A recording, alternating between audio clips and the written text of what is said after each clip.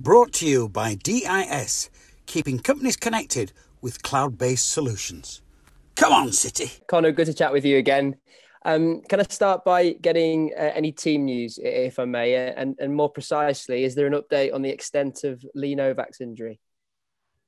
Just an update. It's, you know, it's going to look probably similar to, to how it looked against Cambridge, um, potentially with, with a late, maybe a late inclusion. Um, but we'll, uh, we'll, we'll see what happens. Is there at all a, a time scale at, at, this moment in time uh, on on how long he'll be out for? It was this Lee. Lee, yeah. Um, again, we, we've sort of looking at this week of he's going to get the final assessment, which will give us a really good indicator on on um, the time frame. But um, for us, he's, he's looking quite good at the minute, so um, we'll see what happens. Yeah. Fundamentally, is he missing from tomorrow's squad? yeah, at the minute, yeah, he is. Um, sort of late inclusion would be potentially. We're looking for um, some really good news, but we, we, we shall see um, in, in, in short notice, really. Harry Pritchard, is it likely he'll be back fit and available for, for tomorrow's game, or is it too soon?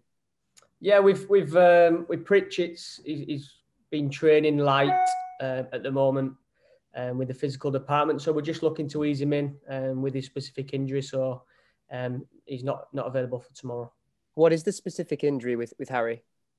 It's just something that he had before he came to the club, um, and which is, like I said before, some players have have ongoing problems, and and it's it's that for him. Any other knocks or niggles to report from Saturday's game? No, no, clean, clean bill of health. What are your thoughts on Saturday's game more generally, and, and how and how it turned out?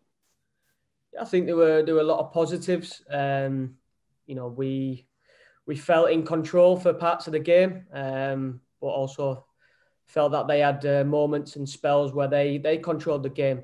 Um, I think for us, we just took confidence that we were playing the top of the league, and and we we showed what we're about. Um, and you know we we ideally just getting better and better every game, and, and hopefully people are seeing that as well. If you were to look at the game.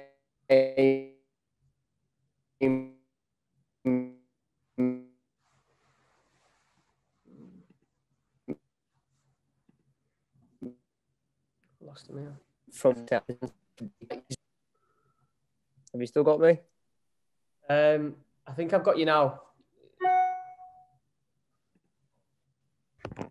Yeah, yeah, I can hear you now. Yeah, sorry about that. Okay, that's all right, mate. I'll do it. I'll do that one again. Yeah. Um, yeah, just on on the game more precisely. If you were to look at the the context of the table going into it, you would say that at a point on the road away at the league leaders is is a really good result where you are. But if you were to look at the game in isolation, particularly the chances that you had in in the second half, and most notably Gareth's, which I still don't know how it didn't cross the line. Uh, do you feel like you did enough to to get all three points? Yeah, I think you know if the the pitch isn't as bad in that area, we we probably nick the game one 0 So, like you say, it's um, it was kind of like why is that happening to us moment. Um, unbelievable how that's actually kept out. So, um, I think no one would have been um, maybe too surprised if we'd have, would have actually won that game. So, uh, yeah, like I say, confidence and uh, you know, a good a good thing to see. I wanted to ask you about the, the style of play that you adopted at, at times in the game, Conor, uh, and particularly uh, from the back into the midfield area. It, it, seemed like Paudie and Anthony and, and a lot of more of the deeper players seemed a lot more comfortable on the ball, a lot happier to, to play it around the back line and be more patient in their possession and, and style of play. Is that something that you've been working on specifically in the extended break? Yeah, um, obviously we had the time to to work more on the training field and um, that was something that we we felt would really improve this group of players. Um, just just you know regarding what system we're playing, um, you know where the free players are, um, how do we find the spare man, um, sort of like patterns of play to get us out. Um, but ultimately, we, that, we do all that to score goals, um, and unfortunately, we've not scored any goals. But I think some of the some of the play and some of the bits were were you know brilliant to watch, brilliant to see, and as coaches, you start to see that transfer from training to games, and and I think it gives the the players confidence as well. I think the the next challenge would be for us to take that and, and, and hurt teams a little bit more, um, but also to keep keep mixing up our style of play to make sure that we are unpredictable and and one of those teams that you know if you let us play we, we can, uh, but also if if you come out to presses you got to be careful because we might go straight into our top line and and really hurt you and miss players out for them. So um, we want to be unpredictable how much of a balance is it when you're setting up the team for specific games? Naturally, the defensive structure is clear to see. The, the record speaks for itself. But you've mentioned there about trying to capitalize on that good periods of play and be more clinical in the in the final third. So, how big a balance is it for you? Not trying to commit too many going forward to get the goals without trying to lose the defensive shape that you've shown so often recently. Yeah, it's you know, I think we still we still put bodies forward, um, enough, more than enough bodies forward. I think our structure behind the ball has allowed us to to regain possession uh, high up the field, um, which has really helped and stopped any counter attacks. I think we look at the stats, we, we hardly get countered anymore um, because of the work and the communication and the and what we're asking of the guys. And you know, I, th- I just think the the sort of the final bit would be for us to to add more goals to the to the games. Uh, but that's something that we're continuously working on. Um, and I think defensively, we've just got to keep showing that that discipline. We've we've just got to capital, capitalize a little bit more in the final third and and improve our play because you look at the quality in the squad and, and there is goals in the squad. So um, you know we've just got to keep keep being hard to beat, but also keep looking to to affect them and, and create chances and get crosses into the box and, and win second balls and play from there as well. So we've got to try and mix it up. I asked Mark a similar question after the game on Saturday, but how enjoyable was it seeing Danny Rowe in a Bradford City shirt, and what did you make of his performance on debut? No, it was it was good to see Danny. Um, obviously, uh, it's very exciting. Um, even you know for everybody that watching the game, as soon as he got a sniff or half a yard, it was bang. You know, so it's very really exciting. And with Danny, we we're getting to know him even more, and how we can adapt to get the best out of Danny um, in and out of possession. So I think as time goes on, we'll we'll start to see um, them relationships build, and and for him to make an even even bigger impact. How will you look to, to best use him moving forward, Conor, particularly when you welcome Lee back into the frame when he's fit and available? Is it a case of one in, one out, or is there an appetite potentially to see them both on the field playing together? Yeah, I think it's um, we potentially could play with both of them up front, and there's different formations that would allow that. Um, I think the rationale behind why we would do that would have to be clear. Um, what we're trying to get out of the game, um, also not um, taking too much away from the defensive side. I think for us, Danny, Danny is a nine, um, definitely a nine. Um, I think if you take him into midfield, you start taking away his strengths, and you start maybe um, coming away from his game and being high up the pitch where he can thread uh, through balls, he can have shots off both feet. So um, I, I think it's something that gives us options to play different formations and also allows us to rotate when when Lee is back and etc. So yeah. Uh, another player that made his City debut uh, was Jordan Stevens. It was good to see him come on in the last 20 minutes. Um, excited by what he offered just in that snapshot? Yes. Um, again, Jordan, you could see how quick he is. You could see how um, hard he works, how direct he is. Um, he was probably a little bit um, unhappy with his, his, his final final delivery at times because you know if when he does it in training, it's it's bang on. So we're you know we're not um, you know we know how, how much quality he, ha- he has got. Is it likely that he may start tomorrow night? Um, well, Jordan, you know, he's he's um, he's not done any any harm to to that. Um, so I think we we have to monitor it and monitor the uh, the match loads of the other players. Um, but I think yeah, Jordan will will um, start to you know starting teams as well in the upcoming week, uh, weeks on that point more generally, and I realise that it's only the second game in what will be a very hectic schedule uh, that's uh, on the horizon for you. But how big a factor will squad rotation be, and, and how much do you have to consider that even in the early stages of this of this schedule? Yeah, um, like I said before, it's going to be it's going to be really important, um, and just to um, to reiterate to the players that you know, there's going to be upcoming games where they're going to be needed, and you know, we're not. It's not one out to bring someone in and, and they let the team down. They've they've got to come in and perform. But um, you know, we're we're working hard, and they're working hard to make sure they're in the in the best shape possible, and they understand the roles and responsibilities. It's not just about not playing. You've got to be looking at what your the player in front of you is doing at the minute, and and what he's doing in and out of possession, and how he's affecting the game, and and what your role is when you do play. How do you size up tomorrow's opposition at Southend? Uh, I know recent record would say that they're maybe a little bit out of form once again, but actually they've given themselves every opportunity now of, of staying in this league. How wary do you have to be of them? Yeah, we, we think it's going to be a really tough game. Um, you know, we've watched them and analysed them quite a bit. Um, they've definitely got threats. They're very unpredictable. Uh, they like to press high. They've got long throws. You know, they've all these stuff that we have to, we have to take into account going into the fixture. So you know, we're anticipating a, a tough game. What kind of, of game do you expect it to be then? Do, do you do you see yourselves trying to dominate possession in that respect, or will you give them some respect in their own right? I think the last two games we have dominated possession. Um, we've had, you know, over 50, 58%, I think it is, in, in both games or around that number. Um, so you've got to see how the game pans out. Um, we've we've also not had possession in some games and, and come away with a win. Um, not as not as much possession, should I say? Um, so it's just a balance. Um, and, and, let's see how the game goes. We'll, we'll be trying to dominate in every area. You know, if that's we dominate with the ball or without the ball, uh, controlling the game is key. We've spoken before about how you enjoy the title of underdogs and how that's played into your to your narrative of late, but naturally they will be the underdogs in this game. So how will you deal with being outwardly the the the, the favourites?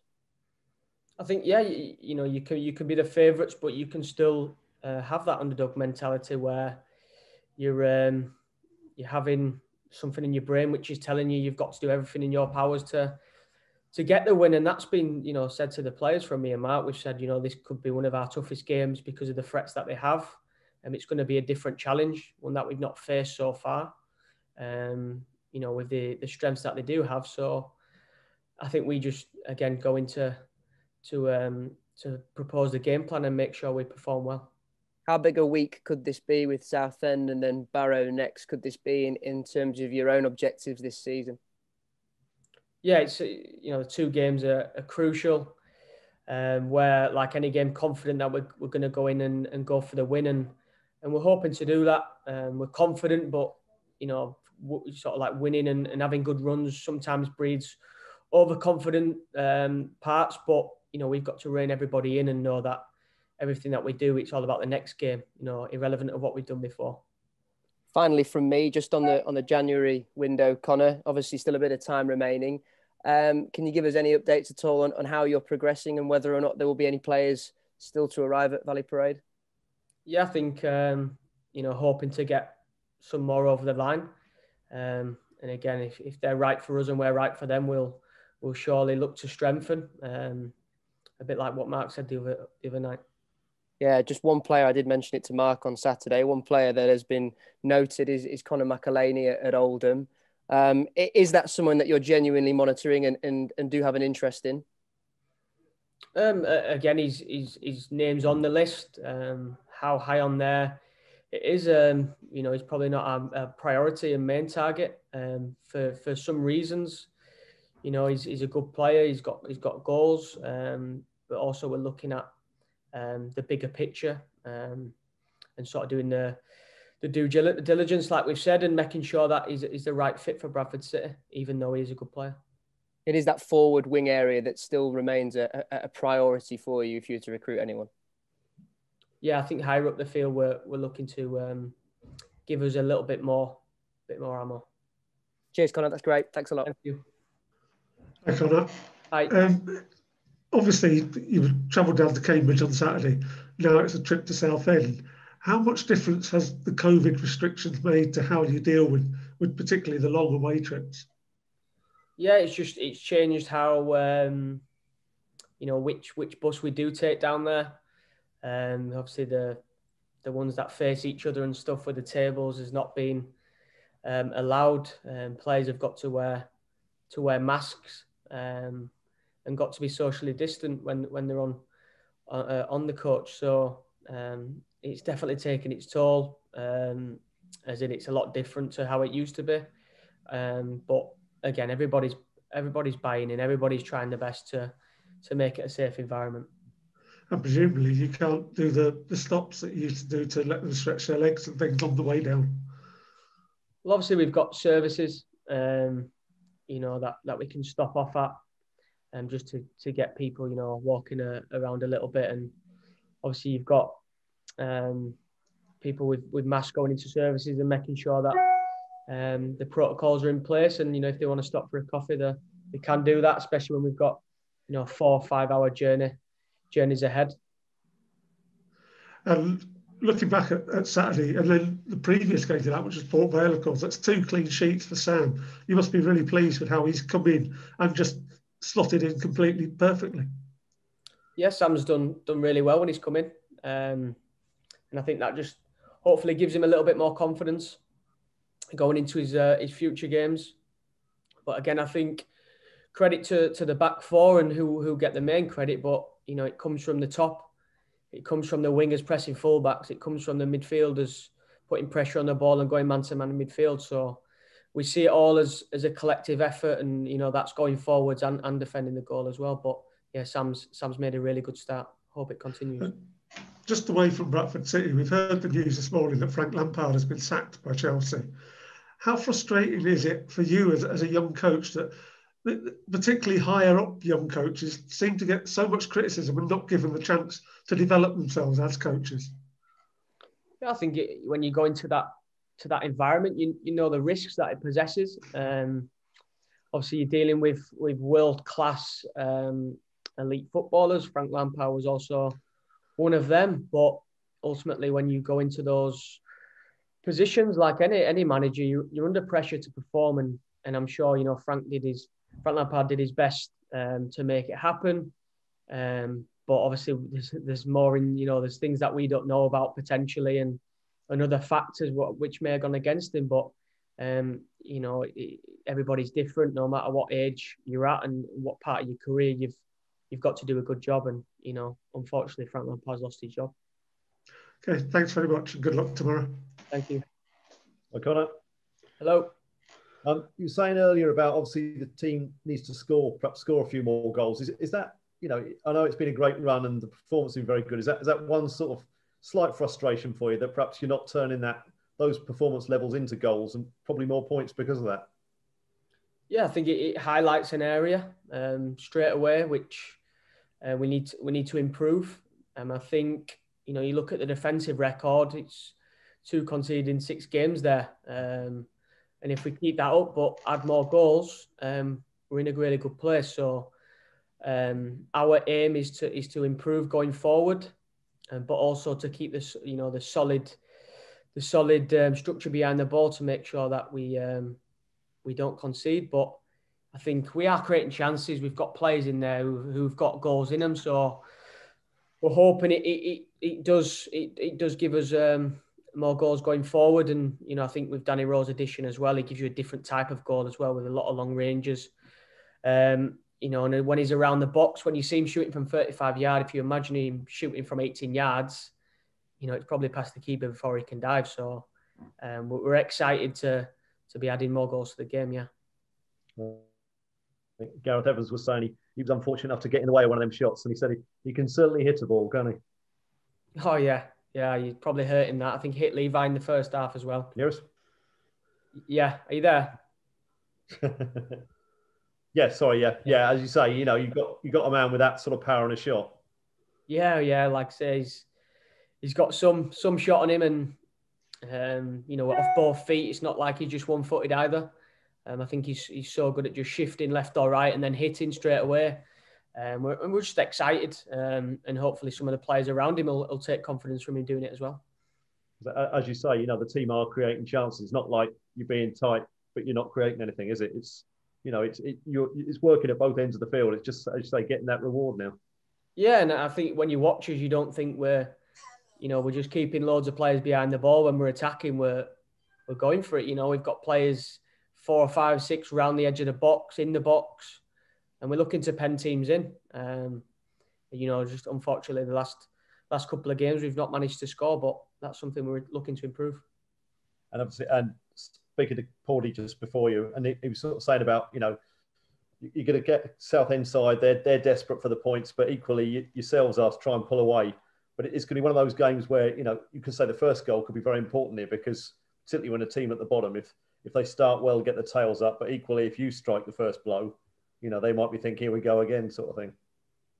Yeah, it's yeah, it's, that's football for you. It's no different. Um, you know, we're we're hoping to go down there and, and score early on. Um, hopefully that that helps us as a team. Um, you know, to, to get even more. Um, but I think the, the, the mentality of you know, um, if we you know do concede or we do go one up, that you know the next goal is is even more important. So we've just got to have that that mindset where um, we're we're experienced as as a team and, and we know what's going to happen. You know, if, if we score or we concede, we know how that changes the game and and what we can do to to manage the game in both ways as well. And obviously, you get a positive result. It, it perhaps gets rid of that label of a relegation battle because at the moment people look at it and think 24th versus 20th, oh, it's a big game at the bottom, sort of thing. So it'd be, be nice to sort of get that off the table, wouldn't it? Yeah, it'd be it'd be really good for everyone. Obviously, we're a couple of games behind, and we're looking to capitalise on on those games um, and add some points. That's for sure. Best of luck tomorrow, anyway. Thank you, Conor. How, how's it been um, integrating so many new signings and, and, and hopefully more to come um, during the season? Because although you haven't had a game, you've had lots to prepare for. Yeah, um, no, it's been good. It, has been good getting getting some new faces in. Um, you know, everybody's different. Um, you know, you got some characters in there who who are lively as well, who are really good people. So you know, when they when they come into the training ground and and they're hungry and they want to get better and they want to get into the team, it's been uh, it's been a, a joy really.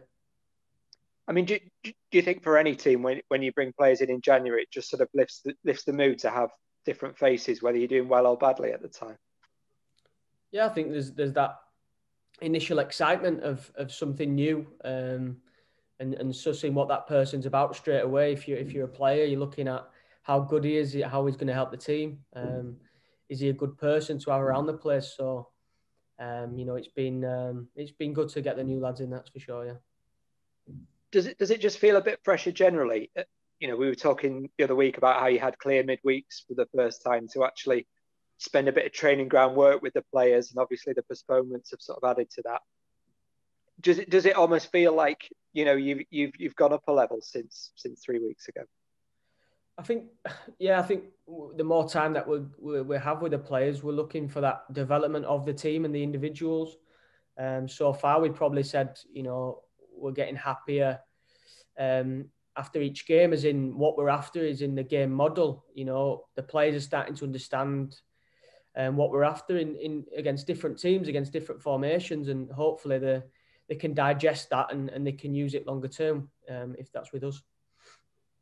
Have you been able to be a bit more ambitious in what you ask of them as well? I'm just thinking at the start, you know, when you're playing Saturday, Tuesday, Saturday, Tuesday, was it although you changed things, was it a bit more limited in what you could do?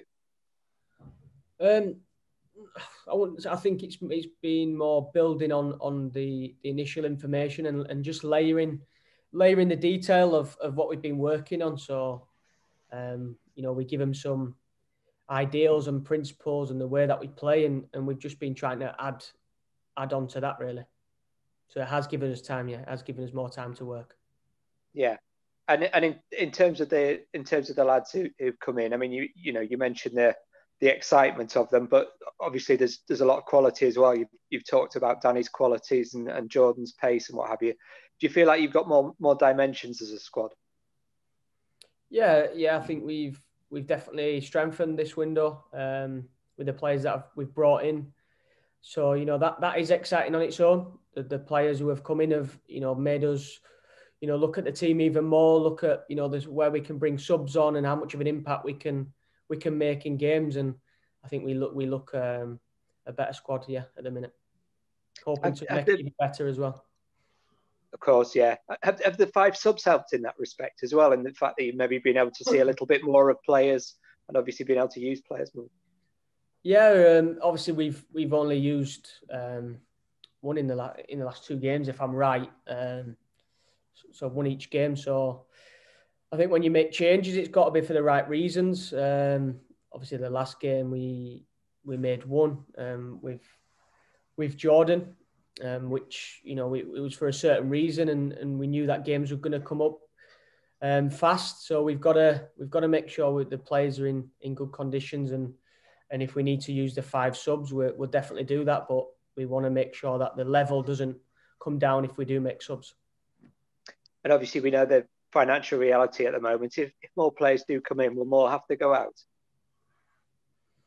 If, yeah, if that's right, if that's right for the club, and we feel that maybe somebody's not going to get the game time that they want, um, or maybe we get somebody in that's uh, potentially better um, long term than, than the player that's already in, then that, that they are options. Uh, but until that happens, we you know we we just look to get better with every signing. Brought to you by DIS, keeping companies connected with cloud based solutions. Come on, City.